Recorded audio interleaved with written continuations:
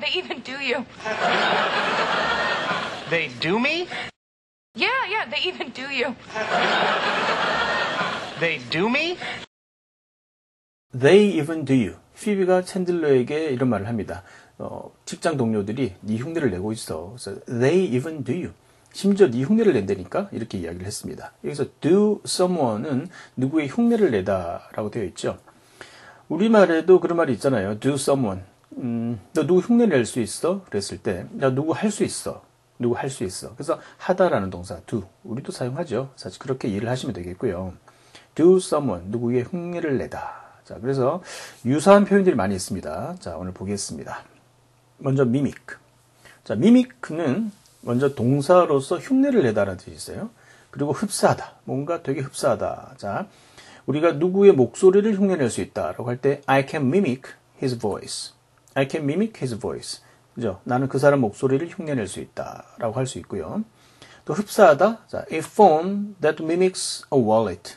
자, 어떤 폰인데 that mimics 뭔가를 어, 흉내내는데 흡사하다라고 하는 게 좀 자연스럽겠죠. 그래서 wallet 지갑을 닮은 지갑과 흡사한 전화기라는 표현이 되겠습니다.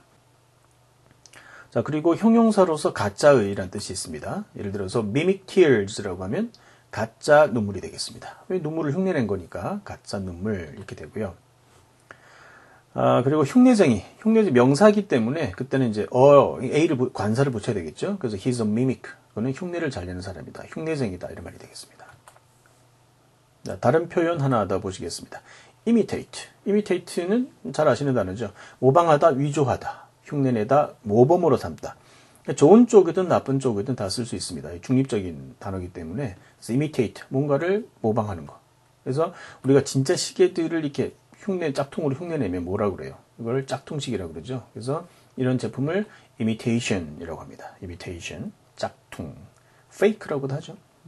자, 이 자동차 보이시죠? 오른쪽에 보이는 자동차가 영국의 명차 롤스로이스가 되겠습니다. 잘 아시죠? 여러분들 댁에도 한두 대씩은 다 있잖아요. 자, 옆에 있는 차는 그런데 진리 차입니다. 진리라고 중국 자동차죠. 뭐 카피한 겁니다. 거의 유사하다고 봐야 되겠죠. 그래서 이것도 짝퉁입니다. 정말 대단한 이 능력을 이런 데 쓰는지 모르겠어요. 그리고 밑엔 더 심하죠. 그죠? 어느 게 진짜인지 뭐 짝퉁인지 구별이 안 가네요. 그죠? 노란 게 이미테이션이 되겠습니다. 짝퉁입니다. fake. 여기에 반해서 이제 짝퉁 반대말이라고 볼 수 있습니다. 오른쪽에 보이는 두 차량은 어, 진짜니까 오리지널, 우리 오리지널이라고 하잖아요. 오리지널 그리고 genuine이라고도 하고요. authentic이라고도 합니다. genuine, authentic, original. 네, 하나 더 보겠습니다. copycat. copycat.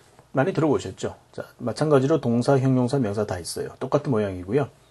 흉내를 내다, 모방하다 뜻인데, 우리가 이 단어는 어, 주로 이제 copycat crime이라고 해서 그 모방 범죄라는 단어를 쓸 때 많이 듣게 되는 표현이 되겠습니다. 그리고 copycat라는 영화가 있었어요. 한 20년 전에 시고니 위버가 주연했던 영화인데 아주 명작이죠. 그래서 어쨌든 뭐 모방 범죄를 다룬 그런 범죄를 저지른 사람을 copycat라고 하죠. copycat 흉내쟁인데 부정적인 쪽으로 쓸 때 copycat를 씁니다. made fun of you. What? We're great, but they still made fun of you. What? We're great, but they still made fun of you. What? We're great, but they still made fun of you. What? We're great, but they still made fun of you. What? 예문 하나 보시겠습니다. You should not make fun of others. 다른 사람들을 놀려서는 안 된다라는 표현입니다. 당연하죠. 자, 여기서 fun을 주목해 주시기 바랍니다. fun은 즐거움, 뭐, 여기서 명사니까 즐거움, 이렇게 되겠죠. 근데 우리가 fun 하면 재미있는 이런 단어를 알고 있죠. 그리고 funny라는 단어도 있죠. 그래서 fun 이건 funny 이건 둘 다 재미있는 또는 재미있다 이런 식의 형용사가 되는데 어, 쓰실 때는 잘 구별해서 쓰셔야 됩니다. 예를 들어서 롤러코스터를 탔습니다. 재밌겠죠. 자 그렇다면 어 이거 재밌었어. 이때는 fun입니다. fun. It was fun. 그리고 옆에 조이는 참 재미있는 사람이잖아요. 조이가. 그래서 어, 이 사람이 재밌었어. He was funny라고 하셔야 됩니다. 근데 그 funny한 사람을 만났다는 그 자체는 나는 되게 즐거웠어. 재밌었어. It was fun. 아시겠죠? 어떤 상황, fun. 사람이 재밌다, funny. 자, 근데 롤러코스터가 재밌었어. 그렇다고 해서 그게 funny 하시면 안 돼요. funny에는 약간 좀 웃게 만드는 뭔가 이런 게 있어야 돼요. 아시겠죠? 그래서 fun. funny는 구별해서 상황에 맞춰서 쓰셔야 된다는 거. 자, 잠깐 짚어봤고요. You should not make fun of others. 다른 사람들을 놀려서는 안 된다. 그렇죠? 놀려서는 안 됩니다. 자, 그래서 어, 사람을 놀려서는 안 된다라는 어, 예시를 하나 보도록 하겠습니다. 자, 왕초보를 달고 나온 초보 운전자가 있습니다.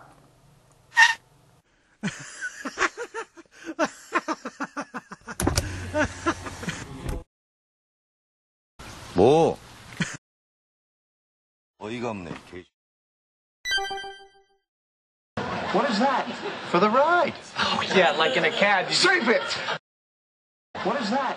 For the ride. Oh, yeah, like in a cab. You Save it! What is that? For the ride. Oh, yeah, like in a cab. You Save it! What is that? For the ride. Oh, yeah, like in a cab. You Save it! What is that? For the ride. Oh, yeah, like in a cab. You Save it! 네, 이 장면은 로스의 전 부인이 지금 출산을 하려고 해요. 그런데 로스가 빨리 가야 되잖아요. 근데 친구들이 어, 늑장을 부리니까 마음이 급해서 지금 막 발을 동동 구르는 그런 장면이 되겠습니다. Save It 에 대해서는 어, 이 장면을 보시면 쉽게 이해가 가실 겁니다. 일단 영상 하나 보시죠. 음, 이 바나나 하니까 생각이 나네요. 제가 미국 LA에 있을 때 미국 캘리포니아산 바나나를 정말 많이 먹었습니다. 어, 바나나를 먹을 때마다 느낀 것은 낯설다라는 그런 느낌이었습니다. 그렇죠. Save it. 자, 이 장면은 이제 우리 박찬호 선수에 대해서 제가 무슨 of him 하는 게 아닙니다. 놀리는 게 아니고요. 뭐 워낙 그 요즘에 뭐 much talker로 이제 뭐 애칭이죠. 뭐 비난하는 게 아니라 이 애칭으로 이제 불릴 만큼 그런 쪽으로 이제 재미를 주고 있다 보니까 저도 어디서 짤을 구해서 올린 거고요. 말이 너무 길어져서 save it 그만해 이런 말이 되겠습니다. 그래서 save는 아끼다, 뭐 저축하다 이런 말이 있잖아요. 그래서 지금 내뱉지 말고 그냥 넣어도 아껴도 나중에 써. 자 이런 표현이 되겠죠. save it. 그래서 그만해라는 말이 되겠습니다. shut up보다는 굉장히 shut up은 너무 심하잖아요. 듣는 사람이 기분도 나쁘고 shut up 입 닥쳤는데. 근데 좀 아이러니하게도 또 이런 게 있더라고요. Save it. 네, 본인도 save it 이라는 단어를 쓰고 있어요. 보통 이제 많이 듣다 보면 자기도 쓰게 되죠. 그리고 같이 알아두면 좋은 표현들이 있습니다. 비슷한 표현들일 수 있는데요. forget it 많이 쓰죠. 자, 그, 야, 그 신경 꺼. forget it 잊어버려. 여러 가지 상황에서 쓸 수 있습니다. 뭐 잊어버려. 그 생각하지도 마. forget it. 다음 cut me some slack. cut me some slack. 자, 이 표현은 cut me 나에게 잘라다오. 나를 잘라다오 아니에요. 나에게 뭔가를 잘라다오라는 거죠. some slack. Slack은 여유로움, 뭐 한가로움 이런 뜻이거든요. 그래서 좀 약간의 여유를 나에게 좀 나눠줘. 그래서 사정 좀 봐줘. 나 지금 빡빡하단 말이야. 이런 말이 되겠죠. 그래서 어, 예를 들어서 뭐 한 번만 봐줘. 이런 때도 적절한 표현이 되겠습니다. cut me some slack. 야, 한 번 봐줘. 좀, 야, 적당히 좀 해줘. 살살해. 이런 말을 할 때도, 그죠? 그래서 뭐, 우리가 운전하고 가다가, 어, 교통경찰한테 걸렸어요. 한 번만 봐주세요. 그때, cut me some slack. 조금 어색하긴 한데, 그래도 괜찮아요. 제가 좀 너무 급해서 그랬어요. 뭐 이런 식으로. 그죠? 아, 근데 뭐, 한 번만 봐주세요를 뭐, look at me once, please. 뭐, 이거 웃긴 겁니다. look at me once. 한 번만 봐주세요. 그거 아닙니다. 그리고, cut me some slack입니다. cut me 하면 안 돼요. 우리가 한국식 그, 뭐, 발음 법칙에서는 뭐, cut me가 되는 게 맞겠지만, 영어에서는 cut me 없습니다. cut me이기 때문에, cut me, cut me 라고 하셔야 돼요. cut me some slack. Screw that. 집어쳐. screw it. 자, 이런 표현들을 영화에서 많이 좀 들어보셨을 텐데요. screw라는 단어는 우리도 잘 아는 단어죠. drive 할때 그 배웠듯이 screw라는 단어는 나사를 조이다. 뭐 이런 뜻이 되겠습니다. 그리고 약간 성적인 메시지를 담은 단어기도 해요. 그러다 보니까 우리가 이제 가장 흔한 그 미국의 욕설이 있죠. F로 시작하는. 그래서 F it라고 하게 되면 이거랑 똑같아요. screw it과 똑같은 뜻입니다. 왜냐면 같은 뜻을 갖고 있으니까요. 근데 우리 F 단어는 우리 방송에서도 쓰기도 그렇고 또 완전히 욕이니까 이 정도 쓰시면은 뭐 거의 같은 효과로 좀 점잖게 쓸 수 있는 어, 표현이 되겠습니다. 자 마지막으로 cut the crap, cut the crap, 닥쳐 이런 말인데요. 여기서 crap이라는 단어는 crap, 어, 일단 뭐 헛소리, 그 다음에 쓰레기 같은 거, 뭐 이런 어, 단어입니다. 그래서 cut the crap, 헛소리 집어치워 이런 강한 표현인데 cut the crap 이 표현도 많이 나오는 표현이죠. 네, 근데 여기서 하나 좀 주의하셔야 될 부분은 crap, crap. 자 한국식 발음으로는 crap 밑에도 crap 똑같잖아요. crap, crap. 왜 똑같이 들릴까요? 끝 발음을 안 해서 그렇죠. word ending이라고 하는 부분인데 위에 단어는 crab, 밑에는 crap. 물론 똑같아. 앞에는 똑같고 crab, crap. 그죠? 좀 다릅니다. 실제 그렇게 하셔야 돼요. 사실은 팝송도 잘 들어보시면 끝에 s 같은 거 붙는 거 끝에 꼭 짚고 넘어가요. word ending이 굉장히 중요합니다. 그래서 cut the crap 하고 넘어가지 않아요. cut the crap.